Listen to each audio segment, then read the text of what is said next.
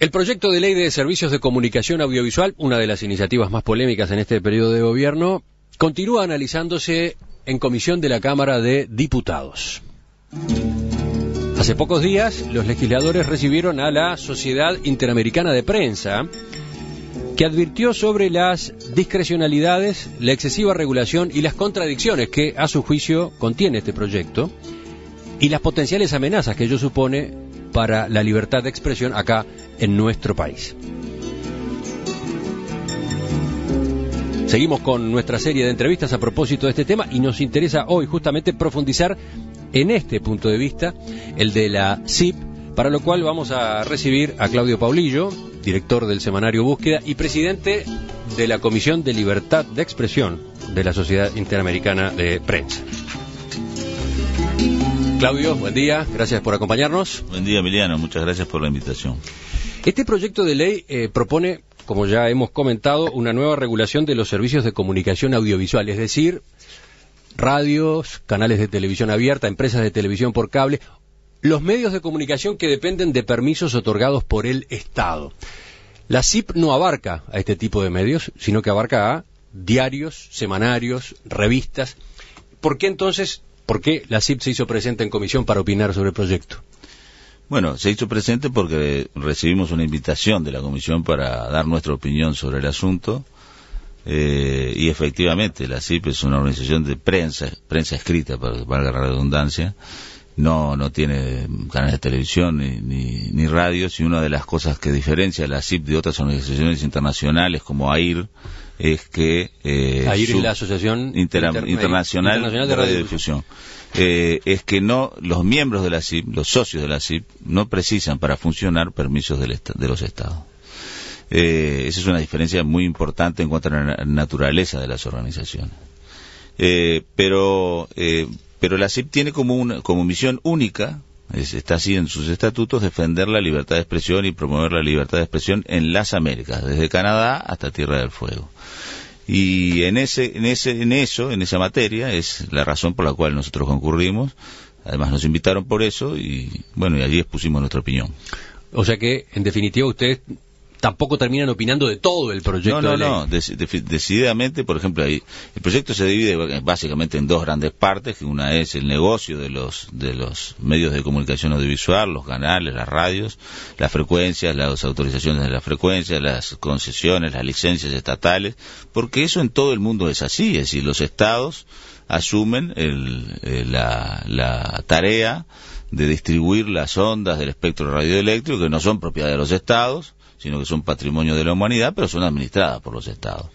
Y en esa materia, este, la CIP, por ejemplo, en, esta, en esto, tiene una posición tomada, y personalmente además lo comparto desde siempre, en cuanto a estar en contra eh, de manera frontal respecto a los monopolios u oligopolios privados, pero también los públicos, que no están mencionados en la ley. La, la ley trata de combatir a los monopolios u oligopolios privados bueno, deberían agregarse en la ley también los monopolios públicos o oligopolios de medios públicos, puesto que los privados eh, afectan la libertad de expresión, los monopolios o oligopolios privados afectan la libertad de expresión porque eh, reducen la cantidad de voces eh, este, que puede llegar a escuchar el público y eso es una afectación a esa libertad.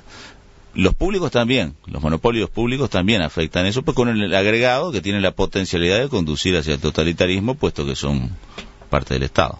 Hablando en general del proyecto, en, los debates que ya se han escuchado acá en nuestro país, suele haber alusiones a, las leyes o proyectos de leyes de medios que se han votado en, en varios países de la región, por ejemplo Argentina, por ejemplo Ecuador, por ejemplo Venezuela. Proyectos o leyes que han incluido limitaciones fuertes a la libertad de expresión. Eh, ustedes en el Comité de Libertad de Prensa de la CIP, ¿qué dicen sobre esas comparaciones? ¿Han hecho la comparación de los textos? Sí, y, personalmente he hecho la comparación de los textos porque tengo esa obligación desde octubre del año pasado, ¿no? Y claramente ninguno de los proyectos de Ecuador, de los proyectos ya no son proyectos, las leyes de Ecuador, de Venezuela, de Nicaragua, de Argentina contienen tantas disposiciones garantistas para el ejercicio de la libertad de expresión como tiene sí este proyecto de ley. Por eso, por esa sola razón ya es completamente diferente, porque uno podría defenderse de las afectaciones a la libertad de expresión que este proyecto de ley potencialmente tiene, acudiendo a la propia ley que tiene disposiciones absolutamente garantistas. Leo dos, por, citar dos. Eh, hay un artículo que dice que los servicios de comunicación audiovisual son soportes técnicos para el ejercicio del derecho humano a la libertad de expresión y a la libertad de, información preexistentes a cualquier intervención estatal. Así que cuando venga alguna intervención estatal, pues cualquier es toda, ¿no? Es decir, eh, cuando venga alguna intervención estatal, uno puede recurrir al artículo este, 4 del proyecto de ley decir, no, usted, eh, esto preexiste a cualquier intervención, ah, está antes de cualquier intervención estatal, por tanto no puede usted hacerme nada respecto a esto. Y otro artículo, el artículo 14 del proyecto de ley, dice, está prohibida la censura previa, interferencias o presiones directas o indirectas sobre cualquier expresión, opinión, o información difundida a través de cualquier medio de comunicación audiovisual. De manera tal que nuevamente está prohibida ya la censura previa, pero también cualquier interferencia sobre cualquier emisión de cualquier contenido este, emitido a través de todos los servicios de comunicación audiovisual. Así que estas garantías hay que resaltarlas porque están en la ley, lo, que pasa es que luego vamos a ver cómo se contradicen con algunas cosas. Hay quienes la han calificado como una ley mordaza, como un proyecto de ley mordaza. Eh, es muy fuerte esa calificación porque ley mordaza es la ley de Ecuador, sin ninguna duda.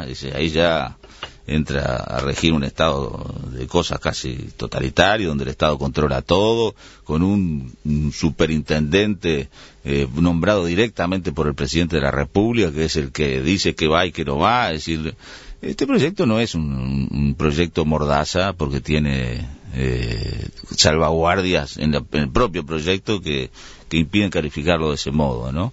Tiene potenciales amenazas, sí, pero no yo no lo, calificaría de, proyecto de ley mordaza. Vamos entonces a, ese punto del análisis. Eh, ustedes en el documento que presentaron, una de las cosas que hacen es llamar la atención sobre esa contradicción por un lado, una serie de artículos que son ampliamente garantistas para el ejercicio de la libertad de pensamiento, expresión, prensa e información, y otros que incluso conforman una amenaza para el ejercicio de la libertad de pensamiento y expresión. Estoy leyendo textual.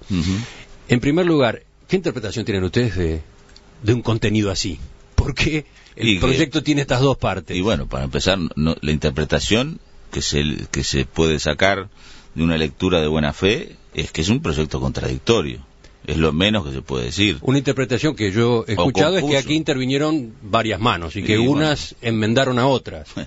Este, es posible, porque tal como está redactado, aquí vienen disposiciones, como digo, garantistas y otras disposiciones que este, a renglón seguido este, pasan por arriba de las garantías. Entonces, este, es, es raro que, que uno pueda defenderse con un pedazo de una ley de los ataques que puedan venir de otros pedazos de la misma ley. O sea, y eso es lo que pasa.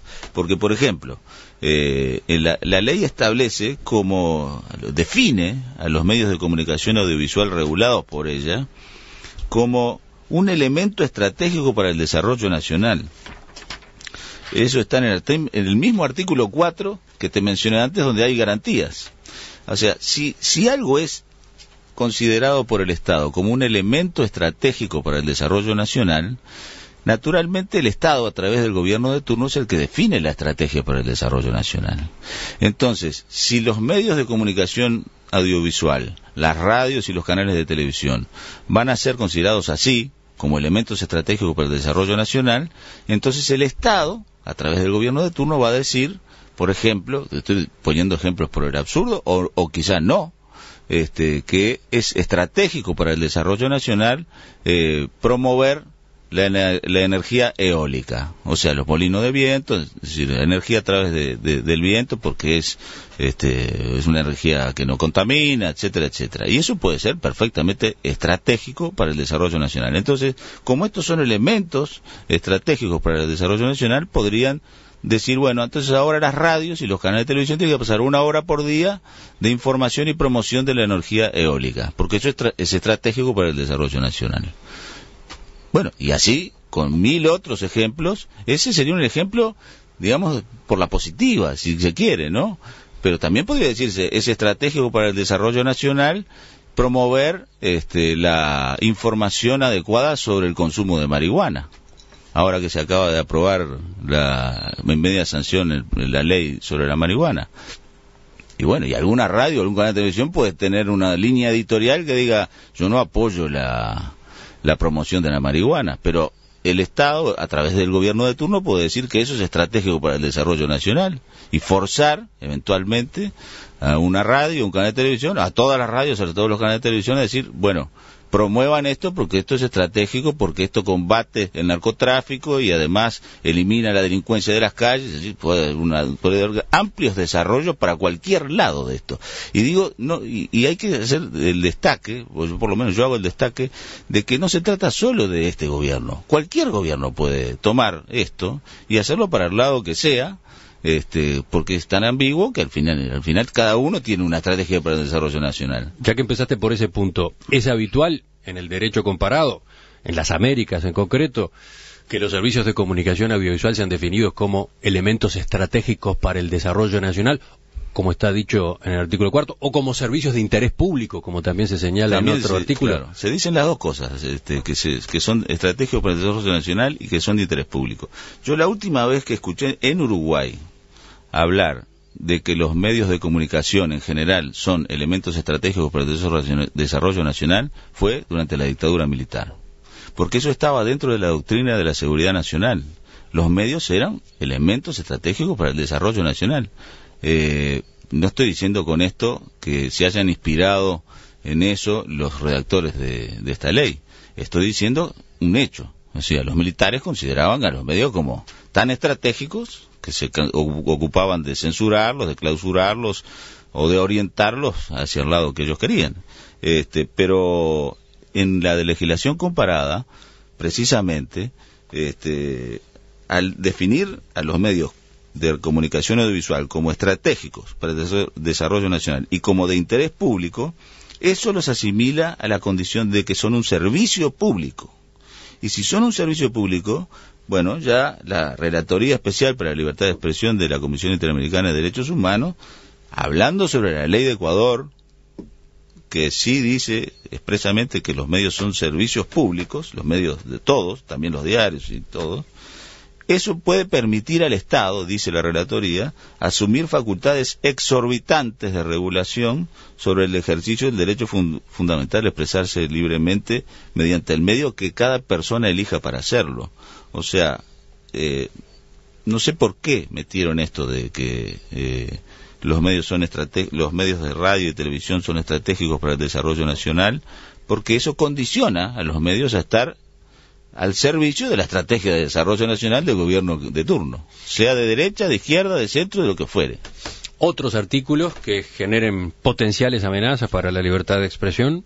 Hay, mira, eh, yo he escuchado a algunos este, defensores de la ley decir que hay solo cinco artículos que que, tienen este, limitaciones. Sí, eso efectivamente lo sostuvo Gustavo Gómez, en, uno este- de los redactores del este proyecto, asesor de la Secretaría de la Presidencia de la República en Políticas de Comunicación, cuando lo entrevistamos hace pocos días. Exacto. Bueno, yo yo digamos yo discrepo con, con esa con esa visión de Gustavo Gómez porque yo veo en, numerosos artículos desparramados a lo largo de la ley es decir no es que haya un capítulo de restricciones no no están desparramados a lo largo de la ley de manera confusa y entreverada. ¿no? En, distintos artículos a lo largo del proyecto de ley se habla, por ejemplo, de que este, los medios de comunicación audiovisual deberán difundir contenidos plurales o deberán promover la identidad nacional o deberán respetar la diversidad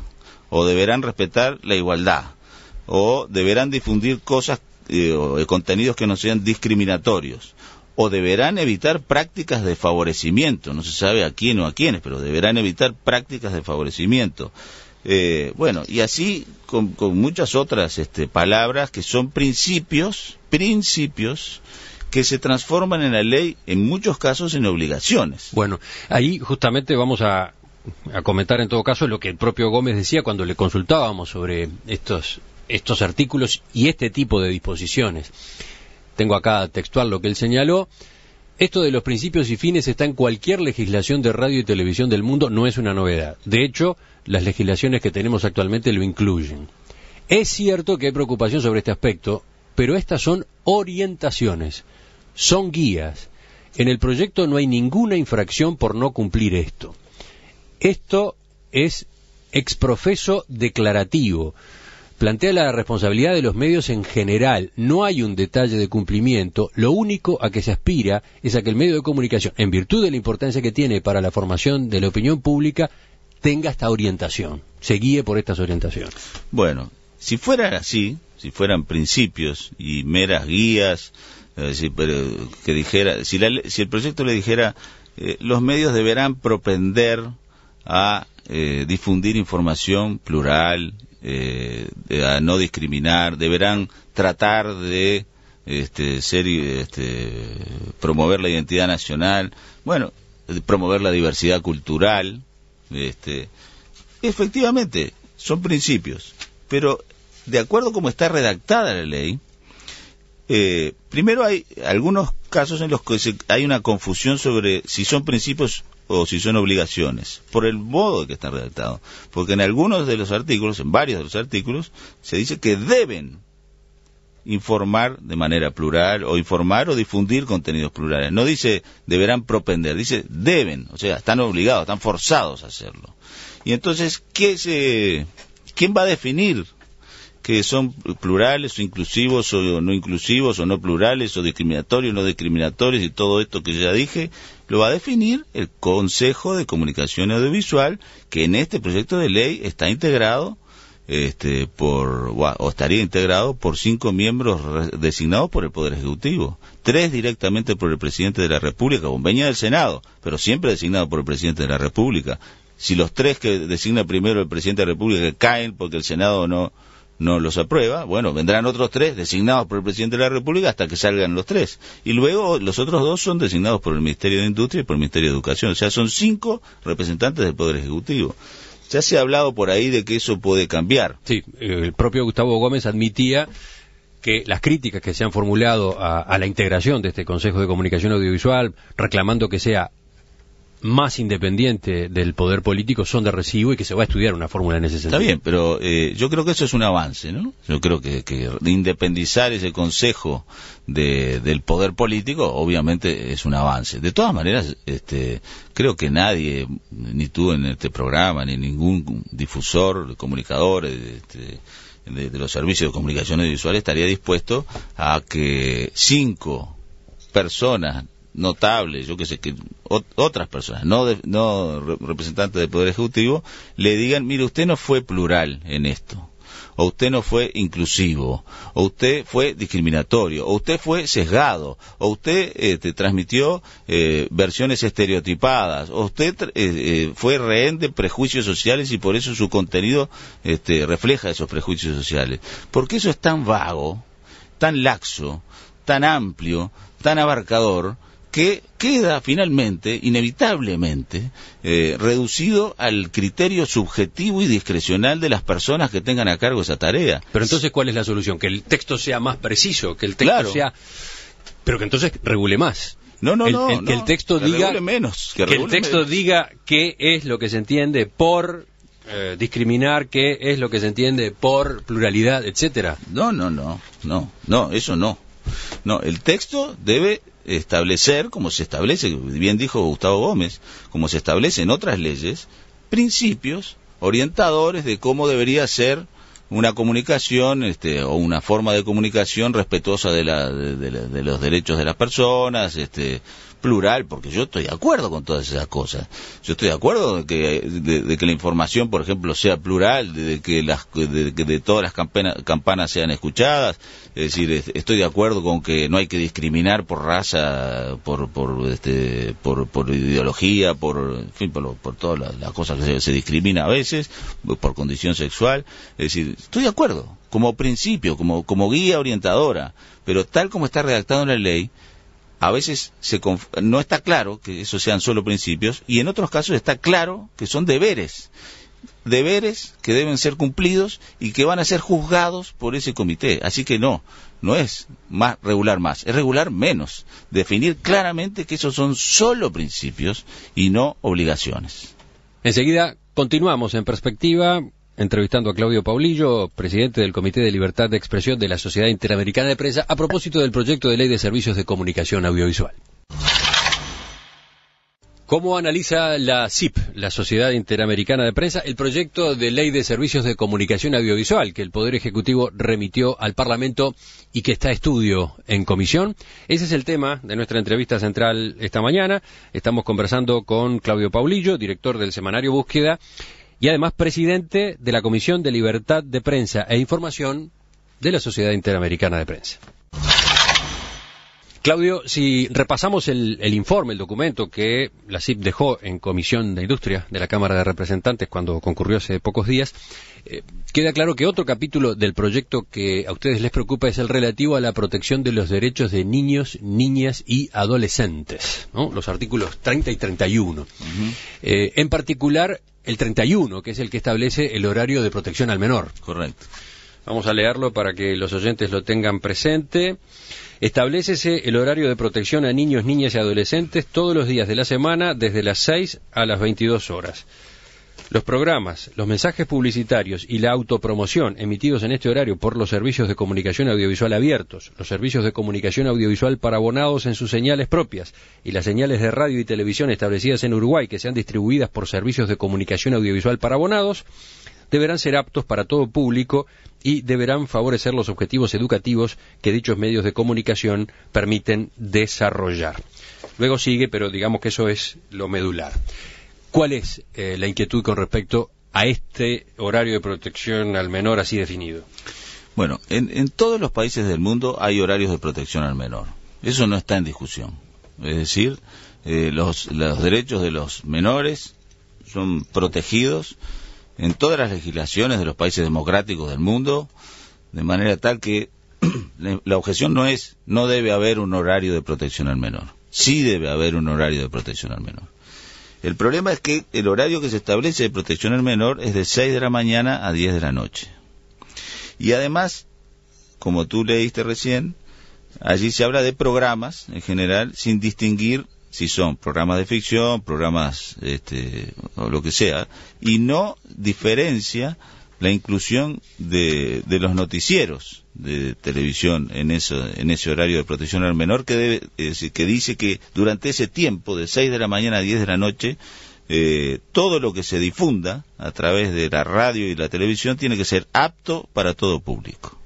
Bueno, a veces la realidad es eh, no es apta para todo público, para decirlo de alguna manera. O sea, a veces este, ocurren cosas muy desgraciadas en la, vida real del, Uruguay y del mundo que determinan que los noticieros eh, difundan imágenes este, que, que uno diría, eh, de acuerdo con, el, criterio del proyecto, no son aptos para todo público. Y sin embargo los noticieros van justamente en el horario de 6 de la mañana a 10 de la noche.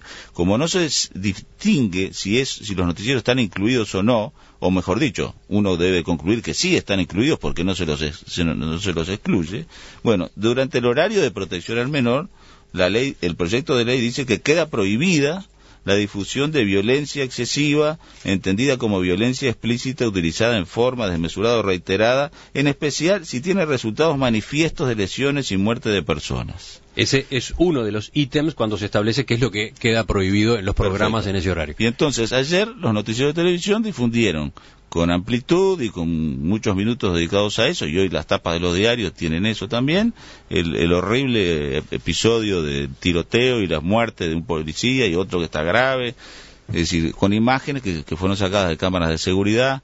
Eh, bueno, eso estaría eh, prohibido, por ejemplo, porque eso tiene violencia explícita con resultado de muerte de personas y de lesiones. Es decir, ahí había policías disparando, policías sacando este, a otro policía herido de, adentro del local donde se estaba desarrollando el tiroteo. Eh, estaría prohibido. Es decir, eh, digamos, este, no debería estar prohibido. Como no debería estar prohibido pasar eh, las imágenes de la caída de las Torres Gemelas en 2001 en, en Nueva York, que fueron en el horario de protección al menor previsto por esta ley y que fueron difundidas por todos los canales de televisión del mundo, del mundo en vivo y en directo. Y ahí sí que hubo violencia excesiva, este, reiterada, con resultado de muerte, de 3.000 muertos, etcétera. Pero hay mil ejemplos mm. todos los días. Las guerras civiles en Siria, lo que pasó en, en, este, cuando, cuando detuvieron, detuvieron, cuando agarraron a, Gaddafi, lo arrastraron y lo mataron prácticamente en cámaras, todo ensangrentado. Eso, eso no se puede pasar. Mm. Gustavo Gómez, eh, que como decíamos fue uno de los redactores del proyecto, en un informe sobre este proyecto de reforma de regulación de los servicios de comunicación audiovisual que elaboró para la Fundación Friedrich Ebert, dice eh, en uno de los puntos, en la página 22, expresamente se menciona que ello no implica que no se pueda informar sobre los hechos en los informativos. Correcto, pero no queda claro, porque lo que dice el proyecto dice que en ningún caso estas pautas deben interpretarse como una imposibilidad de informar, analizar y discutir en especial en programas informativos periodísticos sobre situaciones de violencia, etcétera, etcétera. Pero no queda claro si en los medios que este, que este proyecto de ley pretende regular, eh, la discusión, la información en, en análisis permitidos, entre comillas, sobre estos temas serán solamente hablados o si se van a poder difundir imágenes. No, no, se, no se establece claramente. O sea, no se sabe. Capaz que lo que el proyecto pretende es que se hable y se informe verbalmente de que ayer pasó tal cosa en, en, en, en esa sucursal del correo, pero que no se muestre ninguna imagen porque eso es mostrar violencia explícita y todo eso. Bueno, ayer el ministro de, del Interior, ayer sí, el ministro del Interior declaró que nombró a uno de los menores que aparentemente tuvo que ver con, con, ese, con ese acto delictivo. Con el homicidio del repartidor de Supergas ocurrido el sábado pasado. Bueno. Y, dijo, dijo, quién es el padre, de, quién es hijo, ¿no? Dijo que es el hijo del Rambo. Y entonces eso este, estaría, ya está, eh, ya está en incurso en una infracción el ministro del Interior. Este, ya por el código de, la niñez y de adolescencia, pero estaría más incurso en, aprobando esta ley. O sea, esta ley tiene probablemente una buena intención, pero seguramente se sale de la realidad. Gómez destaca también en este informe para la Friedrich Ebert que el trabajo de redacción del proyecto de ley de servicios de comunicación audiovisual se hizo en consulta con los distintos sectores involucrados. Se conformó para eso el Comité Técnico Consultivo y dice que el informe final del Comité Técnico Consultivo fue votado por unanimidad y recoge muchísimos acuerdos y solamente dos desacuerdos. Todo el capítulo de las recomendaciones sobre contenidos de violencia, sexo y otros fue aprobado por unanimidad, incluyendo la delegación de los empresarios agremiados en Andeu y de los periodistas en APU, la Asociación de la Prensa del Uruguay. Está bien. Y bueno, John Stuart Mill decía, si toda la humanidad estuviera de acuerdo con una opinión y hubiera una sola persona que discrepara, la, toda la humanidad no estaría este, eh, no estaría eh, tan, no estaría legitimada para atacar a la opinión de la persona como como esa persona tampoco estaría legitimada para atacar si tuviera poder a toda la humanidad. O sea si una persona discrepa, está bien, todos los empresarios de estuvieron de acuerdo, habrán estado, ahora parece que no lo están porque están declarando en contra. Y la APU estuvo de acuerdo, está todo bien, pero digamos, este, yo... Lo que tú estás señalando que más allá de quienes hayan intervenido en esta redacción, más allá de quienes la hayan aprobado, acá hay problemas que hay que solucionar. hay vaguedades, hay imprecisiones, sobre todo a propósito de qué es lo que se puede informar y lo que no se puede informar. Sobre todo eso, sobre todo eso. Este, y hay también algunas cosas relacionadas con el tema de la autorregulación, se nos va el tiempo. Hay, hay preguntas de los oyentes sobre este punto que tú estabas mirando, ¿no, Romina? Sí, hay dos, por ejemplo. Leonardo plantea, ¿cuál es el beneficio de mostrar este tipo de imágenes? ¿No se puede transmitir las noticias sin hacerlo? Y hay otro que plantea, ¿los medios no se sienten en nada responsables de la actual violencia? Bueno, es decir, claro que se puede transmitir sin, eh, informar sin transmitir imágenes por supuesto. Se podrían haber transmitido, la, eh, difundido la información sobre la caída de las Torres Gemelas sin imágenes. Se puede haber dicho, miren, está cayendo en este momento la Torre Gemela número 2 eh, se desploma, hay gente que salta por la ventana, eh, hay un avión que, que, que, se está reventando contra una torre, hay un gran incendio, pero es, digamos, este, digamos, las imágenes son parte de la realidad. Es decir, ¿Qué, quiere decir eso de que no se... digamos, yo respeto la opinión de, del oyente en cuanto a que él no quiere ver eso.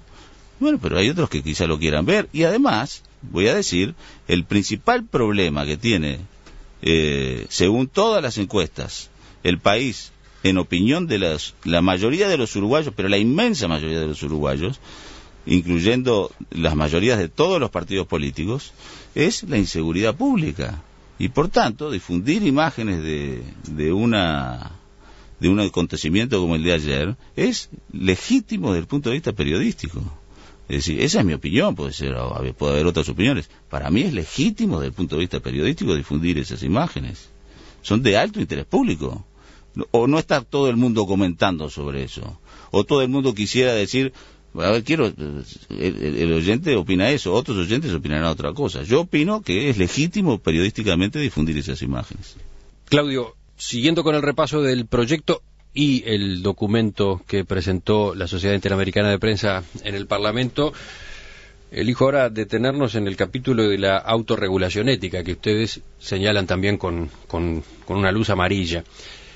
Es el artículo 138, concretamente, que dice los titulares de servicios de comunicación audiovisual deben regir sus actividades conforme a códigos públicos de normas éticas, los cuales pueden ser de carácter individual de un titular o de carácter colectivo.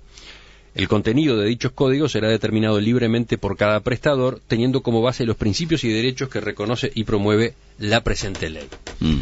¿Cuál es el análisis que ustedes hacen de esta disposición? Y bueno, que hay nuevamente una contradicción, porque eh, si el Estado, mediante una ley, fuerza a los medios de comunicación a que se, comillas, autorregulen, en realidad no, no está promoviendo, no está, los medios no se están autorregulando, están obligados a regularse por imposición del Estado, por imposición de una ley. Es decir, por definición, la autorregulación es la acción y el efecto de autorregularse, que quiere decir regularse por sí mismo. O sea, tiene que ser voluntad propia de, de cualquier medio de comunicación autorregularse. Autorregularse es regularse a sí mismo, no puede ser por imposición del Estado. Primera cosa. Gómez decía sobre esto en la entrevista anterior, cuanto más autorregulación mejor, menos tiene que actuar el Estado, esa es la idea. Pero nadie tiene código de ética. Él preguntaba cuántos medios de radio y televisión tienen código de ética que los oyentes conozcan, cuántos medios tienen efectivamente código de ética aunque no sean públicos. En cualquier caso, el contenido de esos códigos, este, dice el proyecto de ley, debe ser eh, podrá ser determinado libremente por cada medio de comunicación. Pero después de una coma, dice, teniendo como base los principios que reconoce y promueve la presente ley. De modo que la supuesta libertad eh, del, medio para determinar el contenido de su código de ética está acotado a los principios y derechos establecidos en el proyecto de ley. Pues quiere decir que son los principios y derechos este, establecidos por el Estado a través de la ley.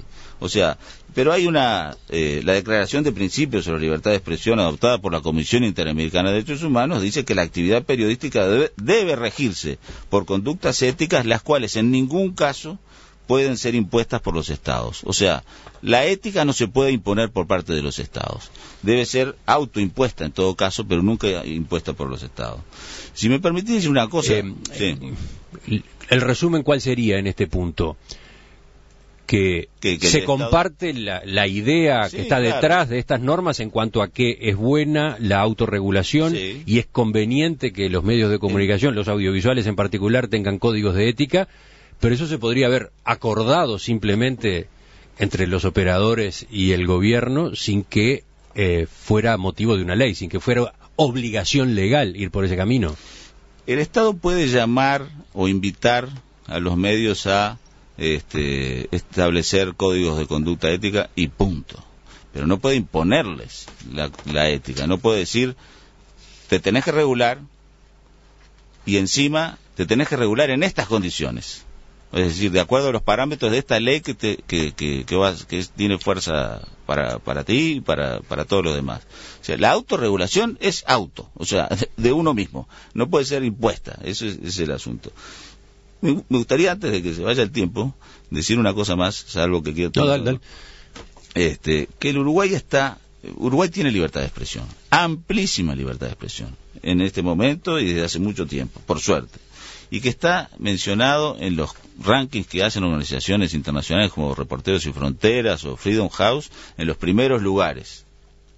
Este, yo creo que eso es un, es un activo intangible que tiene el Uruguay muy importante, un capital muy importante que no se debe desperdiciar. Sí, el documento que la CIP presentó incluye detalles a propósito de esos rankings y, cómo aparece Uruguay, en qué posiciones figura, posiciones que son destacadas, y después termina diciendo, Esperamos que estos comentarios sean considerados por los señores legisladores para que Uruguay mantenga esta merecida posición privilegiada en cuanto a la libertad de expresión existente en el país en el concierto de las naciones del mundo.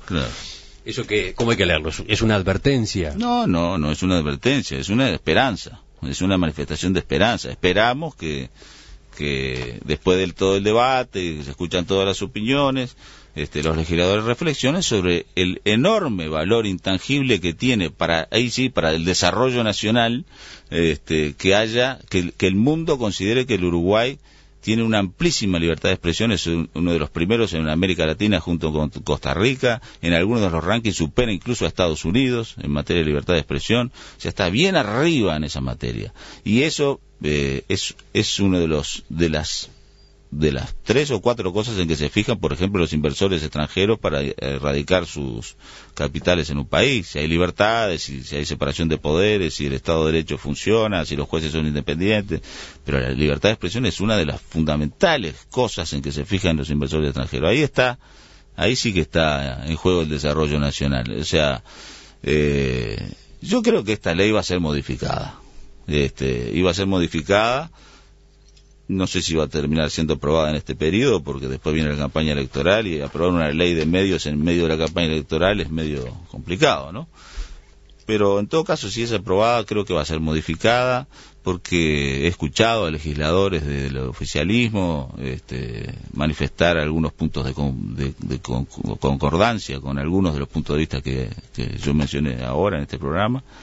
Eh, Modificar significa que se va a corregir las ambigüedades, las imperfecciones que tiene el texto y que ameritan eh, el análisis según el cual allí hay riesgos para la libertad de expresión. O implica sacar directamente ese tipo de normas y dejar solamente aquellas que tienen que ver con el sistema de asignación de las frecuencias, un procedimiento más transparente que el que ha existido hasta ahora, que también es otra parte del proyecto. Bueno, el, resultado final no sé cuál va a ser, pero lo ideal sería eso.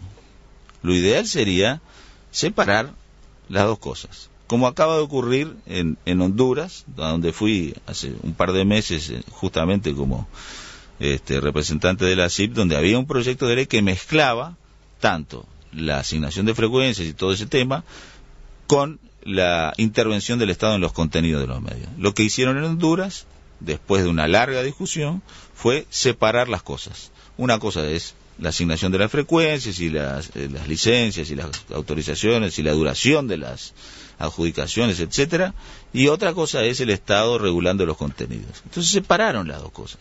Y entonces se eh, discuten ahora sobre una cosa que es una cosa muy distinta este, a la otra. O sea, eh, discutir sobre frecuencias es discutir sobre todo sobre el negocio de los medios de comunicación audiovisual. Si uno puede tener seis o veinte radios o canales de televisión, bueno, eso es una discusión legítima este, para impedir monopolios u oligopolios. Eso estamos totalmente de acuerdo. Y que sería bueno terminar eh, desglosando la ley, digamos, de una manera tal que eso pueda ser discutido de una manera concreta, este, y, lo de los contenidos, el Estado y los contenidos, discutirlo aparte. Porque, eso, porque acá está todo mezclado, digamos. Claudio Paulillo, eh, presidente de la Comisión de Libertad de Prensa e Información de la CIP, la Sociedad Interamericana de Prensa. Gracias por acompañarnos esta mañana. Con mucho gusto. Volvemos sobre el tema en cualquier momento.